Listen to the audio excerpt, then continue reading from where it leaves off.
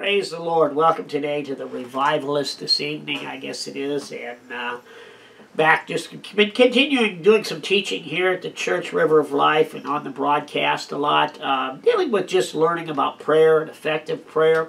Uh, been really digging into the Lord's Prayer quite a bit, and uh, boy, I'm coming away with a lot of different nuggets more than you would anticipate.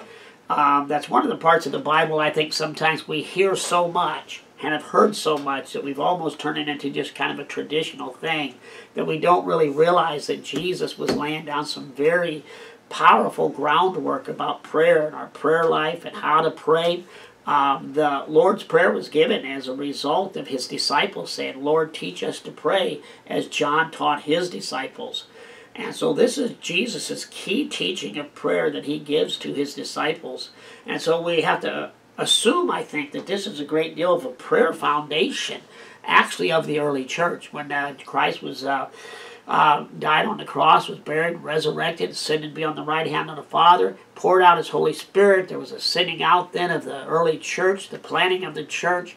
I'm sure that this foundation of prayer that was laid here was probably the foundation of their prayer life.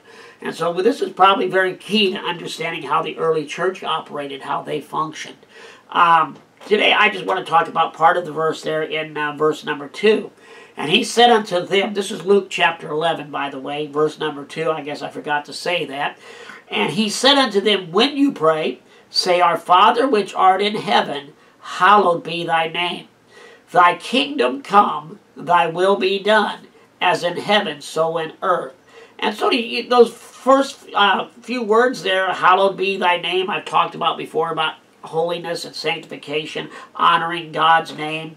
Thy kingdom come. I did a teaching on that of praying different ways for the kingdom of God to be manifest. Um, but then it says, Thy will be done. And as I said, a lot of times with the Lord's Prayer, people have taken it and turned it into some kind of religious, religious chant or mantra or something. There was an individual I, I used, I knew, I still know him, I guess. I just haven't seen him for years, a brother in Christ, a good, godly man and precious man. But um, used to be anytime he prayed about any situation, whatever it was, how he prayed was he just recited the Lord's Prayer. And, you know, if he's praying for somebody who was sick, he recited the Lord's Prayer.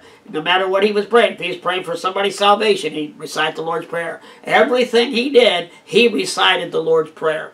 I'm not knocking that individual in any way, shape, or form, but I, assume you understand that's not really what the Lord was referring to. That's not what He meant for us to do, to just recite that over and over and over. And uh, especially this part, Thy will be done, I think is really uh, interesting to dig in there. Because a lot of people, again, have turned that into almost like spiritual ignorance is a great thing. They pray about something or not pray about something or whatever situation, they say, Oh, God, your will be done. And that's their prayer. God, your will be done. Your will be done, as if that's some kind of super spiritual thing to pray about something without having any knowledge of what God's will is, without having any knowledge of what God's uh, desires would be in that situation. And, and beloved, that, that's not any way, shape, or form what I believe the Lord is talking about there. I mean, for example, if I'm praying for somebody who's lost without Christ, I don't say God save them or God your will be done in their life. I know what God's will is in their life. I know because the Bible tells me that it's not God's will that any should perish. So it's not God's will that that individual perish. So if it's not God's will for them to perish, it's God's will for them to come to a saving knowledge of Christ Jesus. Um, the book of Revelation says, Whosoever will, let him take of the water of life freely. And so we see all of those things there that it talks about, obviously, there where it's God's will. We know God's will. I know God's will in regards to somebody's salvation. It's God's will for that person to be saved. So obviously, I don't have to say, oh God, whatever your will be done, thy will be done. No, I'm praying very specifically for that person's eyes to be opened up, their ears to be opened up, and for them to see what Jesus Christ has done for them, and for them to see the glory of the Lamb, the glory of Jesus Christ. It's not a mystery what God's will is. You see, the Bible tells us that faith cometh by hearing, and hearing by the Word of God. So obviously, if I'm going to have faith for a situation, I have to have revelation of God's word on that situation. If I have revelation of God's word in a situation, then I know what God's will is in that situation. So unless I have some revelation of his will, how in the world can I ever possibly pray in faith? If I have a situation, I say, well, I don't know what God wants to do here. I'm praying for that situation. The Bible tells me to lay hands on the sick and the sick shall recover. Doesn't that tell you that it's God's will for them to recover? The Bible tells us when we pray for the sick, anointing them with oil, that the prayer of faith shall raise up the sick. Doesn't that tell you there what God's will is for that sick person? The Bible tells us very simply that He's the God who heals us of all of our diseases and forget not all of His benefits. And one of those benefits is the healing of the sick. So I don't have to sit there and think, boy, I don't know. This is just a mystery. I don't know God wants to heal this person or not heal this person. No, I understand what God's will is. Jesus, by his stripes, by his stripes, that sick person is healed. We understand that, he took sickness and disease upon him when he was upon the cross. That's very plainly revealed to us in Isaiah chapter 53. So again, why would I have to guess and wonder if it's God's will to heal a sick person? I don't have to guess and wonder that. He's already paid the price for their healing in his death, burial, and resurrection. I know his will. My job then is to believe it and to pray it and to see it come into manifestation. Our job, first and foremost, when we come to prayer, we have to understand something. We don't blindly say, God, thy will be done. I think one of the first matters of prayer is, is to understand and know what God's will is. And if I don't know what God's will, then the first thing I have to do in my prayer life is go to God, go to His Word, and find out what is God's will in this situation. What is God's will in this situation? And begin to pray that will to come to pass. Begin to pray that will to see manifestation of that will taking place. That's the reason that we have to expect or anticipate our prayers to be answered. I anticipate my prayers to be answered because I know it's God's will for that prayer to be answered. I anticipate my prayers to be answered because I know it's not only God's will for that prayer to be answered, but I also know that Jesus Christ and his death, burial, and resurrection has paid the price for that prayer to be answered. That's simply why we pray in the name of Jesus and not in any other name, because he's paid the price. Let me make another point to you real quick about God's will. I'm going to read a couple verses to you out of 1 Corinthians chapter 2, uh, verses 12 and 13. Now we have received not the Spirit of the world, but the Spirit which is of God, that we might know the things that are freely given to us of God. Which things also we speak, not in the words which man's wisdom teacheth, but which the Holy Ghost teacheth, comparing spiritual things with spiritual. Now notice there in verse 12, we have not received the Spirit of the world, but the Spirit which is of God the Spirit of God comes and lives and dwells within the believer. What is one of the purposes of why Him living and dwelling within us? That we might know the things that are freely given to us of God. So if the Spirit of God lives on the inside of me to reveal to me the things that have been freely given to me of God, and you're out there as a believer, and the Spirit of God lives on the inside of you to reveal to you the things that have been freely given to you of God, beloved, then don't you think that that's going to give us revelation of God's what God's will is in a situation? If He's freely given it to us of us, then obviously it's His will for us to have it. It's not God trying to stop you from receiving the unsearchable riches of Christ. It's the enemy that's trying to put obstacles in your way and to stop you from receiving the things that Christ has paid for. And we need to understand that, that there is a battle sometimes to see the will of God come into manifestation in our lives, in our homes, in our families, in our communities, our churches. Sometimes, obviously not sometimes, all the time. Let me rephrase that. There's a battle in seeing that come into manifestation. That's why the Bible tells us to fight the good fight of faith. And because it is a battle sometimes, or all the time, I don't know why I keep saying sometimes, it's always a battle. Trust me, the devil's never sitting back, he does not retire. Um, but let me refer to that too again in the same passage, same two verses. Verse 13, which things also we speak, not in the words which man's wisdom teaches, but which the Holy Ghost teaches, comparing spiritual things with spiritual. So you notice in those two verses, there's two things that jump out at you. The first part, the Spirit of God is on the inside of us to reveal to us things that are freely given to us of God. But it also talks about words of the Holy Spirit. Now, what are words of the Holy Spirit? I hold in my hand right here a whole bunch of words that were written by the Holy Spirit. The Holy Spirit has given us His Word right here. He wrote this. The Bible was given by inspiration of God that the Holy Spirit breathed, God breathed into man truth that's what the word inspired means. It means God's breath or God breathing or outbreathed or however you want to phrase that. It's like I always pictured it like when God formed Adam out of the dust and whew, breathed life into him. It's the same way the word of God was birthed as God whew, breathed truth inside of people. The Bible says holy men of old were moved by the Holy Ghost, moved by the Holy Spirit to write down the words that we have of the Holy Spirit. I often share, and probably about every time I teach or preach, somehow or another, it comes into the teaching, the message, the parable that Jesus taught about the two houses. House built upon rock, house built upon sand. House built upon sand is those who hear the word, and when the storms come, they haven't done the word, so the house falls. House built upon rock, those who have heard the word, and the house is built upon rock, and when the storm comes, when the storms come, they've done the word of God, and so that house stands. And beloved, I think more and more as time goes on, that's the most important truth that we as a believer can grasp. And as I watch all the confusing times go on and all the unstable unstable times, the one thing that I absolutely know that I know that I know that I know, one of the most important things you can do as a believer is to build your life upon the Word of God and upon its solid foundation. And that's as much as any reason why I'm doing what I'm doing sitting here talking to you. That's why we send out this broadcast to help you to build your life upon the Word of God. That's why we send out this message on TV broadcast. We send out the message on Facebook any way we can to get the Word of God to you because I have an understanding and I know that if you build your life upon this Word, then God is going to be able to hold you strong and stable no matter what storms come. And no matter what storms that comes our way tomorrow, next week, next month, next year, if we're standing and building our life on the Word of God and we're living our life according to the Word of God, we're going to stand strong. And I, I talk about this all the time, beloved. One of the great tragedies, I think, in the body of Christ to some degree is so many people look at this as a history book as you know, go in the Old Testament, you know, that's true, that's history. In the New Testament, well, yeah, that was Paul's life, and that's history. And Jesus' life is history, and so on and so forth. But this is this is a handbook on how to live victoriously. This is how we live in the kingdom of God.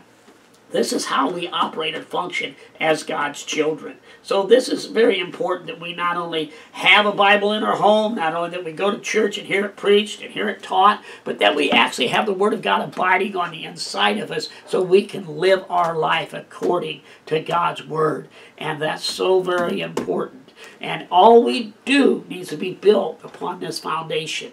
I tell people that here at the church all the time or in any kind of ministry I do, is everything we do needs to be built on the Word of God. Whatever we do in the church, if something is happening in the church that I can't show you in the Word of God, and I can't reveal to you that the Word of God says this is how we do it, that I should that I should stop it from happening. And everything we that the Word of God says we are to do, I need as a pastor to be doing everything I can to see that come into manifestation. And it don't matter what it is, how we live our lives, how we treat one another, manifestation of the gifts of the Holy Spirit, what have you. Or if something begins to happen in the in the services that doesn't line up with the Word of God, then I as a pastor have to hopefully kindly and lovingly quench that and stop it from taking place. And so everything we do has to build upon the foundation. If you're out there and you're a business person, this is the foundation of your business. This is how you build your business. You build it upon the Word of God. And no matter what kind of business storms come, that business will stand. No matter what takes place in, in life, if we're, our foundation is the Word of God, we will stand strong. You know, I was kind of thinking about something um, just recently, and in, in the book of Acts, chapter 17, and uh, verse 11, it talks about the Bereans being more noble than those who were in Thessalonica. And it goes and it gives a reason. And Paul had went into that community, and Paul was ministering and teaching the word and preaching the kingdom of God. And it says that they, they searched the word with all readiness of mind and searched the scriptures daily whether those things were so. They received the word, let me rephrase that because I misquoted it. They received the word with all readiness of mind and searched the scriptures daily whether those things were so. Now, I've talked about that verse a lot, but here just recently I was reading that and something jumped out at me I had never thought about much before. And that's the word they. It says they searched the word word with all receive the word with all readiness of mind and searched the scriptures daily. They did.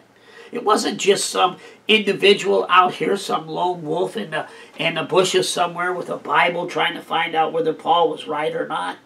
It was a body of believers who were searching the Word of God and examining the Word of God to see what was so and what was true. And I thought, boy, what a nice picture. What a beautiful vision of a body of Christ. What a beautiful vision of the church. Of people together working and operating and functioning together, searching the Word of God to see what was so. Why is that so important? Because you know what? I've known a lot of people in life who they kind of run off by themselves and become a lone wolf and they begin to get all kinds of goofy ideas about the Word of God, about the things of God, because they're by themselves. And when you get isolated, no matter how sincere you are, you're, you're, you're not functioning properly in the kingdom of God. We're never supposed to be isolated. We are a body, and if you're uh, isolated by yourselves, there's all kinds of gifts that are not available to you because God puts the gifts in the body of Christ as He wills. So it's important as we examine, examine the Word of God, examine the Scriptures. It's important. We need to be in a body. We need to be in a fellowship that is digging into the Word of God as a body, as a unit.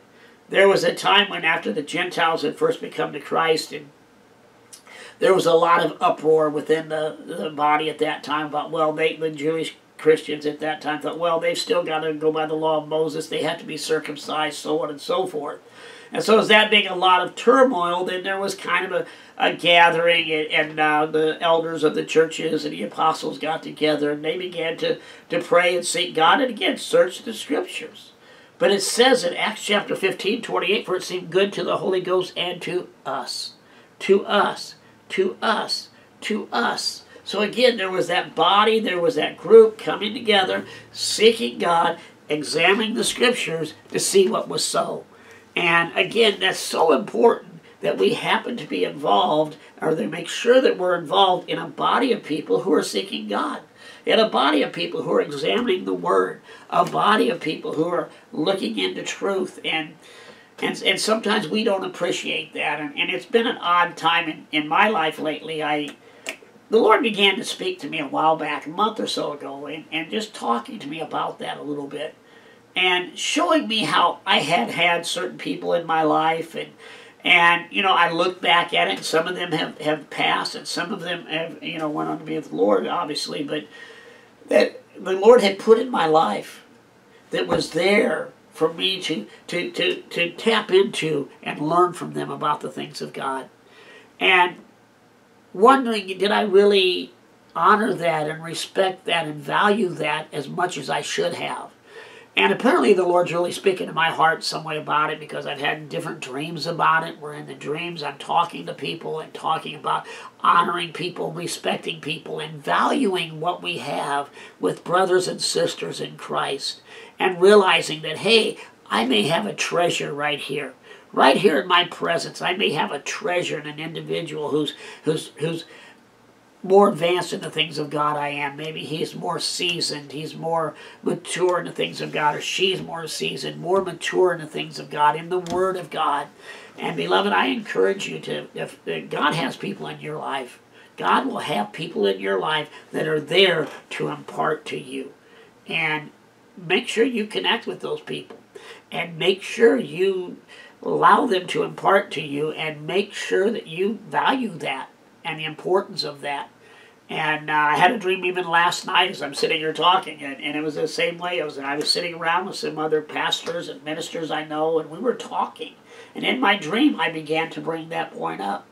And I won't mention individuals' names, but I began to mention individuals' names. And I said, you know, I knew that person, and I knew that person. And I said, God put them in my life so that I could, could partake of the things they knew about the things of God. And I says, you know, I look back at my life and I wonder, did I really value that as I should have?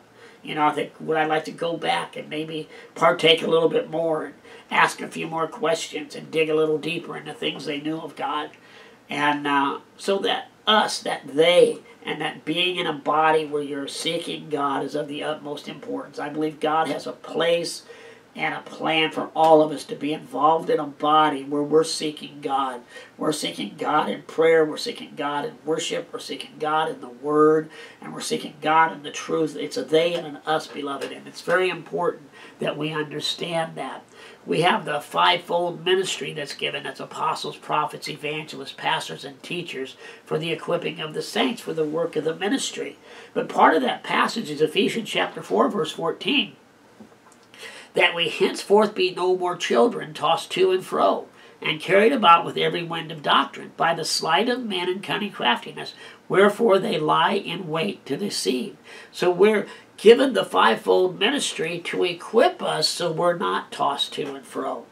And so if you're being tossed to and fro by every wind of doctrine, and I've known people like that, that, you know, every new thing that comes along, boy, they, they change everything. I, I knew an individual, and uh, he uh, was called into ministry, and I watched his whole life, and he was tossed by every wind of doctrine. I mean, every new moment, every new thing that came along, that's what he swallowed. And uh, so he was everything you could imagine, and he, uh, you know, was trying to function in the ministry. And one of the last things, one of the people, ministry groups he went to to try to plug in with them and work with them, says, you know, all I see in your life is lack of stability. You've been everything under the sun and you've been tossed around by every wind of doctrine. You need to get you need to get stable and you need to get solidified, so to speak, and standing on the Word of God. I uh, want to read one more scripture to you real quick, and that's out of Second Timothy. But sometimes, and I remember years ago, there was kind of a move among us in the body of Christ, and in that move, there was a lot of ideas about, you know, doctrine was a bad word and uh, we were kind of you know supposed to kind of put our bibles on the shelf and put what we believe on the shelf and just everybody get along then and everything be wonderful then and just you know come by and you know you know forget about anything else. And um, that was really kind of popular for a period of time and uh, i seen the effects of that and i seen some lives really shipwreck over that. And i would uh, propose to you that there's only one time that the Bible mentions people doing that that I'm aware of. And that's in the last days, and it's not a good thing. It's uh, 2 Timothy chapter 4, verse 3 and 4. For the time will come when they will not endure sound doctrine, but after their own lust shall they heap to themselves teachers having itching ears, and they shall turn away their ears from the truth, and shall be turned unto fables. Now, that's a very serious situation to turn your ears away from truth unto fables. And why am I coming around to all of this? Because remember, we're talking about knowing God's will. And it's important to know God's will. You can't lay down the Word of God that gives us revelation of His will without being tossed about with every wind of doctrine. You can't lay down the Word of God which reveals His will without falling prey to being like that and coming to a place where you don't endure sound doctrine. You don't endure the Word of God and coming to that place where you turn your way to find somebody who's going to teach you itching ears and allow that to, to, to, to promote what you want to believe. If you'll notice something in that verse, let me read that again. There's a key point I want to mention. For the time will come when they will not endure sound doctrine, but after their own lust they shall heap to themselves teachers. Remember just a moment ago I talked about how God puts people in our lives that are there to, to mentor us, to disciple us, to impart to us. You notice it doesn't say that it says they shall heap to themselves teachers. You see, if you're running around and you're finding what teacher you want, rather than looking where God wants you. If you're running around thinking, well, I want this church or that church or this church because that really uh, floats my boat, rather than seeking God and saying, God, where do you want me to plug in at? You see, there's a difference there. God has people in there to, to, to raise you up and to disciple you and to teach you and to impart to you. But you have to seek God and be connected and plugged into that. It's not something that you choose because you like the way that building looks, or you choose because you like the band, or you choose because the, the pastor wears a bow tie or don't wear a bow tie. But it's something we need to be very serious about, about where we plug in in the things of God. And see, we're talking about thy will be done. See, God's will is you're plugged in someplace to people who can season you and raise you up in the things of God. Your will may be different. You may just want the latest fads, you may just want the best entertainment, but God has a will. Thy will be done. That's a very important place to come in life. You see, because to truly pray for God's will to be done, I have to be consecrated to God's will to be done. If I really don't want God's will to be done in my life, I'm not going to pray for God's will to be done in my life. I might say those words. But if the desire of my heart is not to see the will of the Father manifest in my life, then I don't think those, those prayers, those words amount to anything. I can say, Oh God, your will be done in my life, but absolutely totally closed off to what his will is. Now, that's not a sincere prayer, that's just speaking words. The Bible speaks about a people who serve him with their lips, but their heart is far from him. And if we're going to God and saying, God, your will be done, and God's will is that you go down here and you're and you plug into this church and you hear this person or that man or that woman teach you the word of God and raise you up in the things of God, but you absolutely know that your will is to completely go the opposite direction. That that prayer doesn't amount to a hill of beans. You see, God has a will for your life. And He has a place and He wants you to come and, and surrender. You know, we, we see the example in Jesus. Father, if thou be willing, before he was prepared to go upon the cross, remove this cup from me.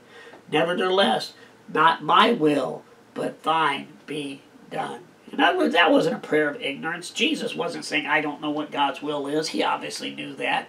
He already taught everybody he was a good shepherd. He was going to give his life for the sheep. He already taught the disciples on numerous occasions that he was going to die and be buried and resurrected. He knew all of that.